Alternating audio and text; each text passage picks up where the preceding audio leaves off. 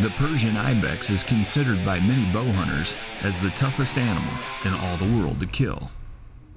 For they live where no man should ever go and seem to be quite comfortable above the cloud line.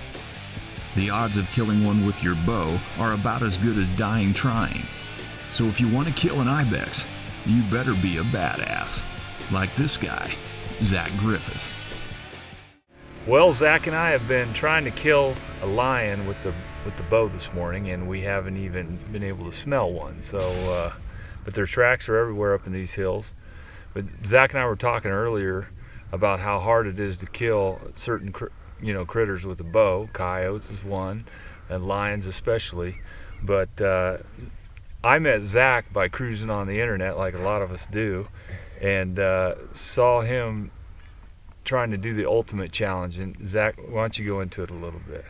Uh, five years ago, I uh, started applying in New Mexico for a, uh, Persian ibex tag, and uh, finally drew it this year as a non-resident. And it's an archery hunt. It's uh, January 1st through the 15th, and you know I've never seen an ibex in my life, but I was optimistic. You know, just just knowing that as an archer, you know, if you work hard enough, you're going to get shot opportunities. And I'd heard about how rugged it was and how tricky these suckers were to get up on. But you know, we got in there three days early and gave it our all and started scouting and started trying to pattern them. And uh, most of the Persian, uh, most of the uh, ibex country, they're going to live in cliffy, rocky terrain. And so uh, months in advance, I was doing all my mule deer hunting and stuff. I was putting my pack on and you know hiking a ton because I knew you every day you're gonna have to go up and down. So they live at the very top of those ragged peaks, and uh, it's kind of pointless to hike on top because you got to glass them from the bottom before you go up. So you got to plan on going up and down every day, and we're talking, I would say, two to three thousand vertical up and down. So you could fall to your death at any moment. Any moment, and then to add a little uh, more interest to the component, they throw some snow and ice in there, and then high 50 mile an hour winds. So it's a it's an adventure to say the least.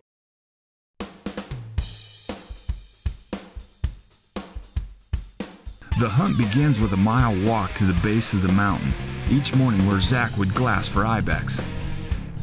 He'd start by looking in the worst possible locations you could ever consider going, like the highest jagged ridges of the mountains. It's generally there that you find the big billies. These are the Florida Mountains, rough, tough, and beautiful. It's here that the ibex call home. After Zach would locate a big billy, he'd then begin what was a three-hour climb from behind the billy, which meant circling around the mountain, then coming down on the billy. It's here that lies the problem. The climb is long and hard. And you're hoping that when you get to the top, the billy is still where you left him down below. Because the only chance of success is to get above the billy or buy a gun.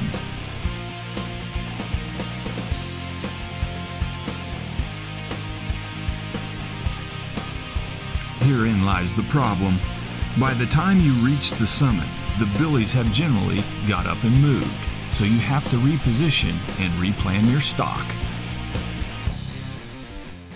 And once they move to a new spot, it can be impossible to reach them.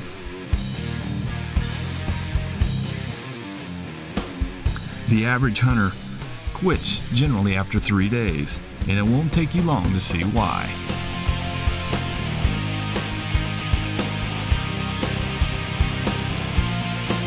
A half day's climb to the top of the mountain may require sitting and glassing for a few hours, then turn around and head back down.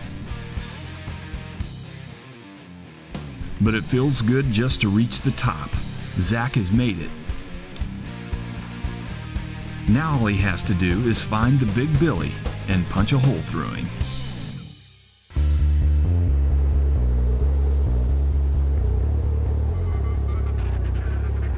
Finally, Zach has found the band of billies that he had glassed from below, but they are moving on the opposite side of the gorge. There's a huge billy in the bunch. So he makes a big circle around to close in from above.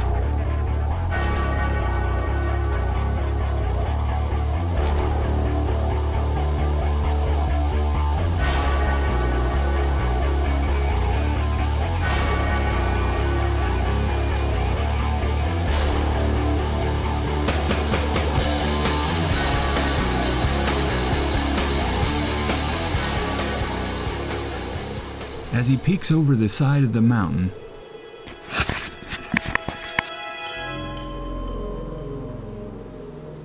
there they are. They're pretty close, and there's a huge one in the bunch. Zach sets up the camera and evaluates the shot. Obviously, they have no idea that Zach is above them. The huge Billy is perfectly quartered away, but unfortunately, he's 125 yards.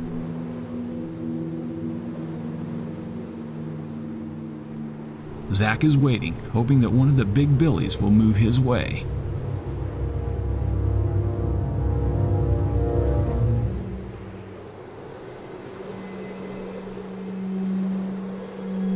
But instead, they finally decide to bed.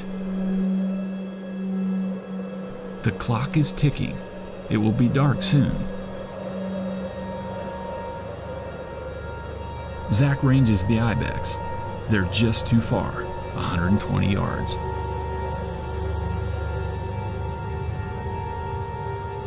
So he has to circle way around and come in from a lower angle.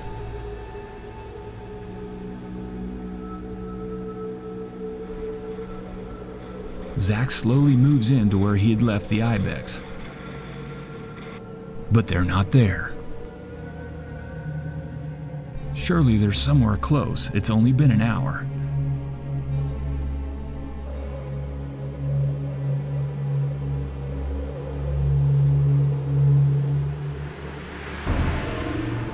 Ever so gently, Zach moves forward, looking into the gorge, hoping to spot a billy within bow range.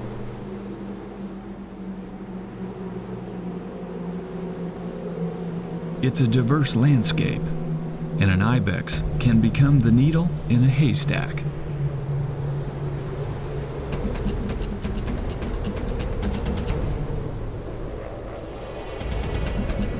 Finally, Zach has glassed the herd.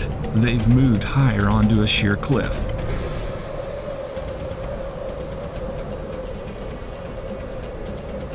Something has spooked them.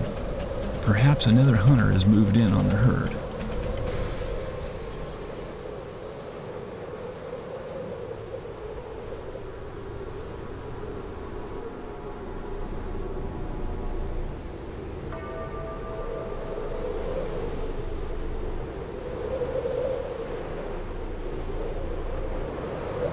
But finally, Zach sees the problem. And yes, it's a hunter. A lion is after the same herd as Zach.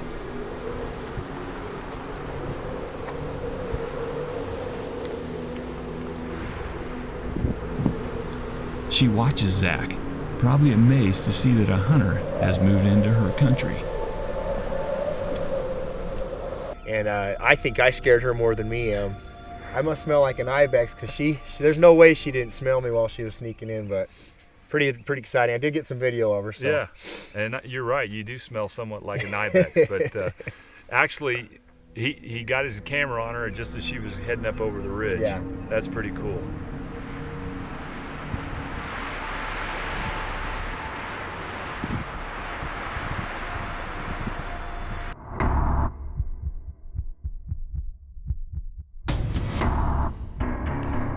Has passed, but still no shots. But Zach is relentless. And he reaches the summit in good time.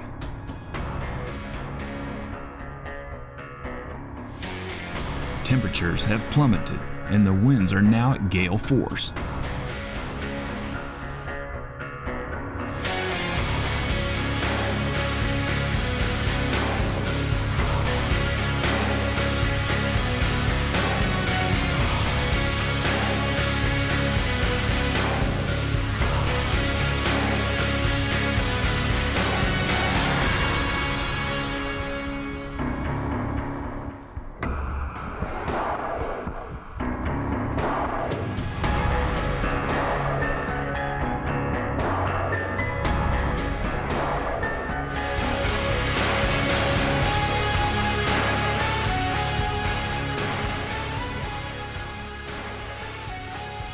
Zach has spotted a band of billies moving up the mountain.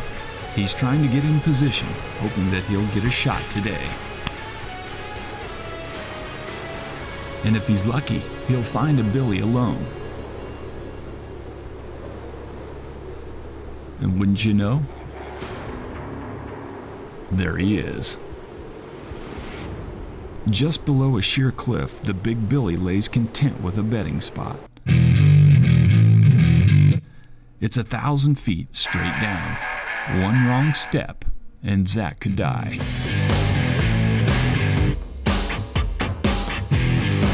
But if he can make it over the face of the mountain, the grand prize awaits his pursuit just on the other side.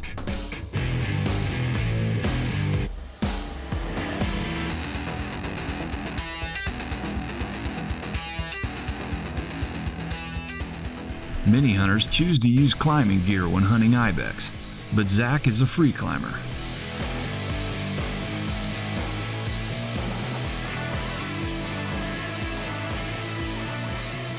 And after watching Zach climb, it appears that even Spider-Man may have problems with some of these cliffs.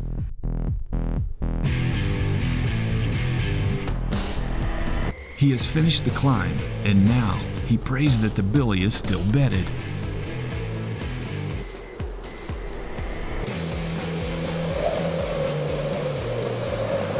You can tell by the look on his face that he has found the billy.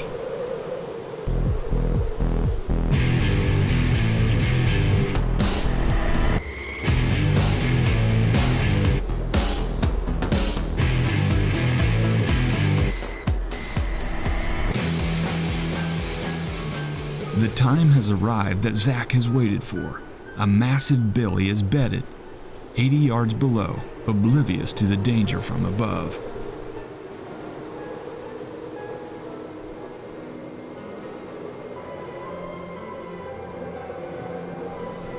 But it won't be easy, for the shot is far, and the wind speeds are off the chart.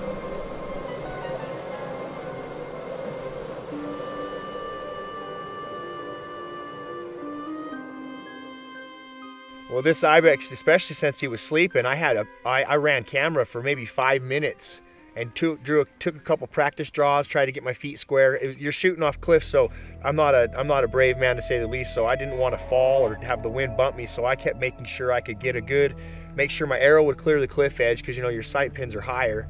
And then uh, last thing I did is, like I said, five minutes after practice, and I said, okay, he's he's looking downhill. I'm going to sling him. And uh, with the wind, it's gusting up there. There's never consistent wind, and where he's at is, you know, 250 feet lower than me, and there might be a crosswind. So all you can do is take a, your best guess. And I actually held a foot right of his vitals.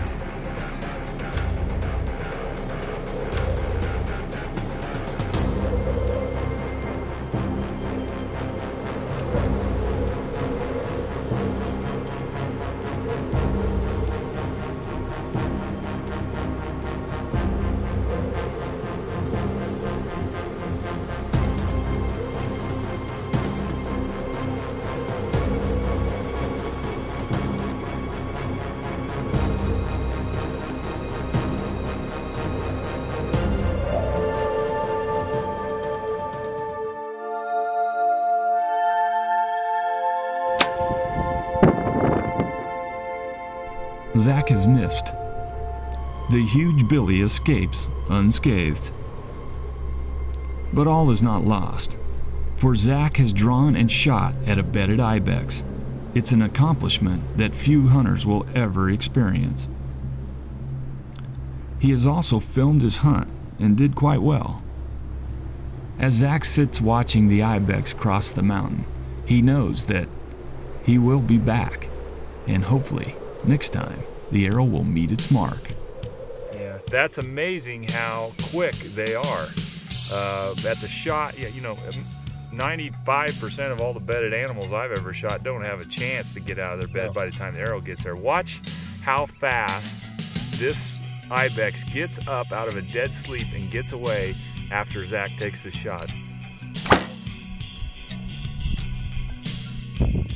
Pretty amazing. This was a chance of a lifetime, man. I bet you thought this is it. I had, I was going to crush him, no doubt.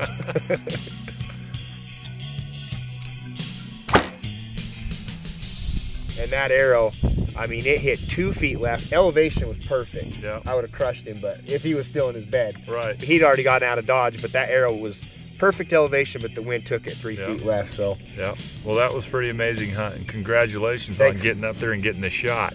Now the success rate on these guys is like less than three percent. So. Yeah, and that's counting nannies and little ugly bills. Yeah, and you had several nannies you could have probably shot. I wanted a big one. I, you know, I would so, definitely want to stick on a big boy. So Zach, your chances were probably like 0.05 percent or something. yeah. But congratulations yeah. on getting that close. Thanks, man. That's a cool hunt. It's an expensive hunt. It is. Uh, just to draw the tag is 1750 or something, right? Right around there, yeah. As a non-resident. Yeah, yeah. So if you want to hire a guide or you know you got to travel out here, it's a very expensive quest for with a bow where the opportunity is very minimal. Yeah, you but know, you'll so. see them. You'll see that they're worth it. They're a pretty unique, magnificent little critter. So. Well, I'm gonna get in shape, dude. And we're gonna, if we can draw a tag, we'll come out and hunt it's with you. It's on, man. It's on. In the spring of 2013, New Mexico allowed rifle hunters to kill nearly a third of the ibex from the Florida mountain range.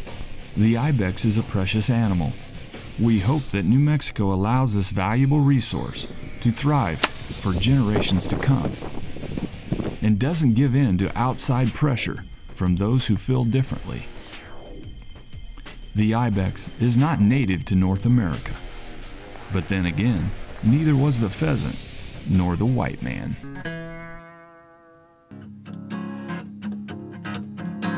From the very beginning, man has been a hunter. A piece of flint was made to fly. Meat was brought home and no one asked.